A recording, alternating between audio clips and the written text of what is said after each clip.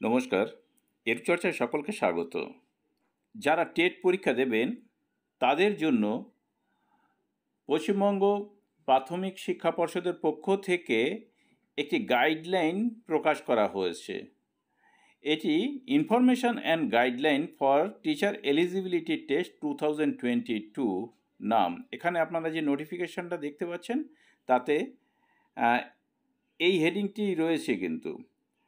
এবার দেখুন এখানে যে যে গাইডলাইন দেওয়া রয়েছে তার মধ্যে কারা টেটের জন্য অ্যাপ্লাই করতে পারবে ইত্যাদি ইত্যাদি সমস্ত কিছুই দেয়া রয়েছে। পাশাপাশি দেয়া রয়েছে কিন্তু সিলেবাস কোন কোন বিষয়ের ওপরে কত নম্বর হবে পরীক্ষা হবে ইত্যাদি এবং সময় কত, সমস্ত কিছু কিন্তু এখানে দিয়ে দেওয়া রয়েছে।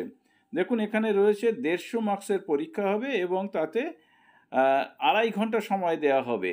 পরীক্ষার কি কি বিষয় রয়েছে না চাইল্ড ডেভেলপমেন্ট অ্যান্ড পেডাগজি তাতে রয়েছে তিরিশ নম্বর, সবই এমসিকিউ তিরিশ মার্কসের জন্য।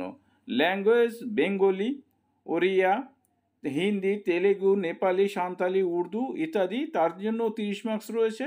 তাতে তিরিশটি কোশ্চেন থাকবে। ল্যাঙ্গুয়েজ টু ইংলিশের জন্য তিরিশ মার্কস তিরিশটি কোশ্চেন ম্যাথামেটিক্সের জন্য তিরিশ মার্কস এবং এনভায়রনমেন্টাল স্টাডিজের জন্য তিরিশ মার্কস এই মোট দেড়শো মার্কস সময় হচ্ছে আড়াই ঘণ্টা। এবার প্রশ্ন হচ্ছে যে, এই যে আপনারা সিলেবাসটা কি কি থাকবে সেটা দেখতে পেলেন। এই প্রশ্ন সিলেবাস যেমন সরি দেওয়া রয়েছে, তেমনি প্রশ্ন, নমুনা প্রশ্নও কিন্তু এখানে দিয়ে দেওয়া রয়েছে। এবং বলা হচ্ছে যে, এটা এই প্রথমবার কিন্তু টেটের জন্য এই নমুনা প্রশ্ন প্রকাশ করে দিল সরাসরি।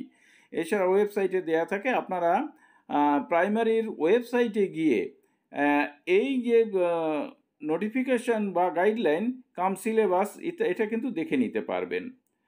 এবার প্রশ্ন হচ্ছে যে, অনেকেই অনলাইনে ফর্ম ফিল আপ করেছেন, অনেকে এখনও করেননি। যারা করেননি, তাদের উদ্দেশ্যে আমি আবারও বলি, বা যারা করেছেন, তাদের উদ্দেশ্যেও বলি যে, অনেকেই ভুল করেছেন, এরকম কিন্তু খবর রয়েছে বা মেসেজ করেছেন যে, ভুল হয়েছে, কি করা হবে? তো আমি সে সময় বলেছিলাম যে একটু অপেক্ষা করুন, পর্ষদ কি নির্দেশ দেয় তার উপর নির্ভর করবে। পর্ষদের তো কোনো নির্দেশ নেই। তো এই মুহূর্তে কোনো নির্দেশ নেই। তবে সূত্র মারফত যতটুকু জানা গেল, কেউ যদি ভুল করে থেকে থাকেন, মনে হচ্ছে ভুল হচ্ছে পরীক্ষায় ক্যান্সেল হয়ে যেতে পারে, সেক্ষেত্রে আপনি সম্পূর্ণ একটা নতুন মোবাইল নাম্বার এবং সম্পূর্ণ একটি নতুন ইমেল আইডি। সেই মোবাইল নাম্বার নিজের না হোক, অন্যের হলেও কোনো অসুবিধা নেই। যেটা আপনি এর আগে কোনো পরীক্ষায় ব্যবহার করেননি, অর্থাৎ এই পরীক্ষায় তো ব্যবহার করেনি সেরকম একটা মোবাইল নাম্বার দিয়ে কিন্তু নতুন করে ফর্ম ফিল আপ করতে পারেন। যা যা ভুল হয়েছে সেটা সংশোধন করে নিয়ে। সেক্ষেত্রে আপনাকে শুধুমাত্র এই এক্সাম ফিটা দিতে হবে জেনারেল দুশো টাকা বা যা যা ধার্য করা আছে তেমনি। এটা গেল, যদি ভুল হয়ে থাকে তাহলে কি করবেন? একটা বিষয়। দ্বিতীয় বিষয় হচ্ছে যে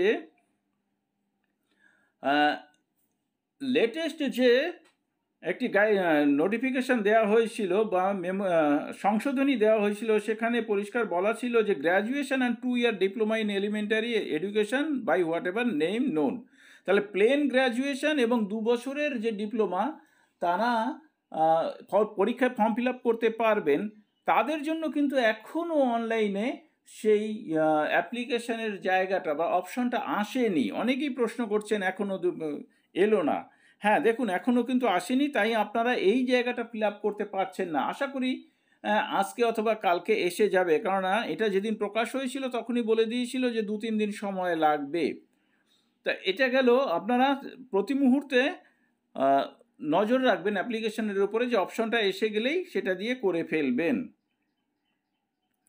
এবার প্রশ্নটা হচ্ছে যে, টেট পরীক্ষা অন্যরা আগে দিয়েছেন, পাশ করেছেন, তারা কি আবার নতুন করে ট্রেড দিতে পারবেন? হ্যাঁ অবশ্যই পারবেন। আপনার যদি উপযুক্ত কোয়ালিফিকেশান থাকে, তাহলে কোনো অসুবিধা নেই। আর টেট পাস করা মানেই হচ্ছে যে চাকরি পেয়ে যাওয়া, এটাও কিন্তু নয় সেটা বারবার কিন্তু পর্ষদ সভাপতি বলে দিয়েছেন। এরপরের প্রশ্নে আসছি যে এনআইওএস থেকে ডিএলএড করেছেন, তারা কিন্তু অ্যাপ্লাইং স্টেট অনেকে ভুল করে ফেলেছেন। যদিও এই বিষয়ে আমি আবারও বলি যে অ্যাপিয়ারিং স্টেট সেটা কিন্তু ওয়েস্ট বেঙ্গল থেকে যদি আপনি পরীক্ষায় বসে থাকেন তাহলে ওয়েস্ট বেঙ্গল লিখবেন জেলাটা যেখানকার সেটাই লিখবেন। ইউপি কিন্তু লিখবেন না। আর আরেকটা প্রশ্ন বারবার যারা করে থাকেন সেটা হচ্ছে যে আগে এনআইএস ডিএলএড হয়েছে তারপরে ডিগ্রি কোর্স হয়েছে বা আগে ডিগ্রি কোর্স হয়েছে তারপরে এনআইএস থেকে ডিএলএড করা হয়েছে এতে কি কোনো অসুবিধা হবে? তো দেখুন এক্ষেত্রে কিন্তু অসুবিধা হওয়ার কথা নয়। আপনারা ফর্ম ফিল আপ করে দেখুন যে অনলাইন নিয়ে নেবে হয়তো। তাতে কোনো অসুবিধা হবে না বা ভুল হবে বলে মনে হয় না। কারণ এই নিয়ে আগে পরে কোয়ালিফিকেশান এই নিয়ে কিন্তু কোনো নির্দেশিকা দেয়নি পর্ষদ এখনও পর্যন্ত। তাহলে এখন এই পর্যন্ত। সকলকে ধন্যবাদ জানিয়ে শেষ করছি। ভালো থাকবেন, সুস্থ থাকবেন এবং যদি কোনো কোয়ারি থাকে অবশ্যই কমেন্ট বক্সে কমেন্ট করতে ভুলবেন না।